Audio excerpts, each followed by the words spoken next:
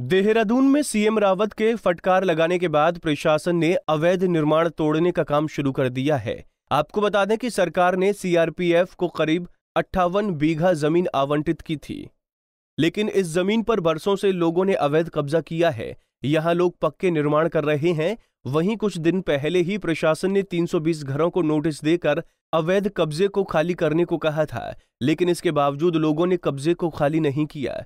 जिसके चलते प्रशासन ने जेसीबी लगाकर अवैध निर्माण भवनों को तोड़ डाला तो किसकी बचेगी ये बड़ा सवाल है। वर्दी का भी भय नहीं रहेगा वर्दी का भी सम्मान नहीं रहेगा तो फिर किसका सम्मान होगा? बस ये कहीं पर भी कोई ऐसी बात आती है तो हमारे लिए वो असह्य बात होगी।